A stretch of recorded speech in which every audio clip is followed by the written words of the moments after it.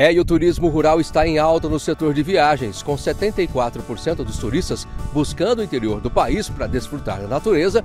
O número de estabelecimentos preparados para receber visitantes tem crescido, oferecendo a oportunidade de vivenciar dias especiais com passeios em fazendas, pesqueiros e sítios na zona rural do município de Batatais.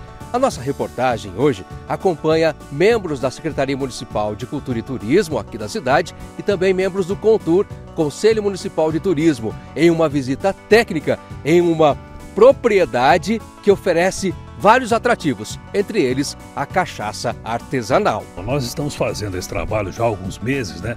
É, tendo a oportunidade de conhecer em loco as oportunidades do turismo rural de Batatais aqui na Cachaça João Roberto, né, o sítio Engenho Novo, é um trabalho realizado é, de geração para geração, ou seja, o trabalho começou é, em 1945, olha aí, gente. E ele mostra é, o, o, que, é, o potencial né, de receber pessoas aqui para conhecer como é fabricada a pinga, a cachaça tão tradicional, a cachaça João, João Roberto, e agora abriu também espaço para eventos. Tem um evento é, do Rock Blues em agosto, tem um espaço para fazer é, pequenos eventos de aniversários, né? Então é, é uma oportunidade a mais para a gente somar em todos os atrativos que a cada dia vão evoluindo no turismo rural de Batatais. Bom, isso nós já carrega na, na herança né, de família. Lá desde a década de 40 que a gente faz a, a cachaça, já tem. Meu pai começou, ele fez um certo tempo, a gente assumiu, né? Naquela mesma tradição, no mesmo, procurando sempre aperfeiçoar, né?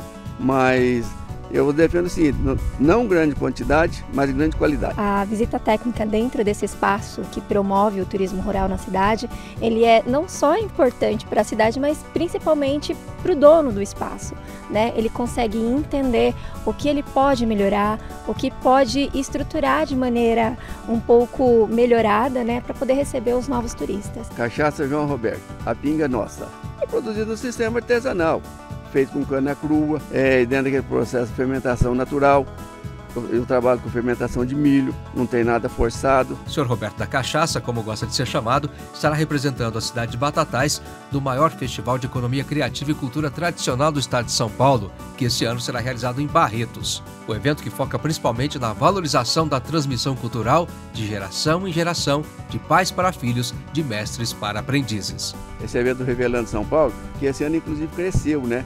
É, eu já tive em São Paulo, eu já tive em Atibaia, São Paulo, São José dos Campos, e esse ano vai ter nos interior também. A gente se sente muito bem fazer parte desse grupo.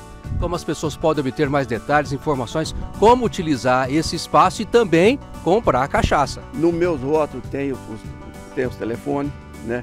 Então, o meu telefone é 9213 6904 né? Então tem vários meios de, de, de comunicação. A gente vê um, uma crescente né, em relação a isso. Exatamente. Já temos Hotel Fazenda é, recepcionando, já temos o turismo receptivo, por exemplo, na Fazenda do Alho, né, com os passeios, com a vivência, né, que é o que as pessoas procuram, principalmente pessoas do grande centro, né, que querem ter esse contato com a natureza mais próximo. E temos também aqui não só a cachaça João Roberto, temos a cachaça da Pinguinha, fabricação artesanal também, e outros espaços que nós temos a certeza que vão evoluir cada vez mais no turismo receptivo.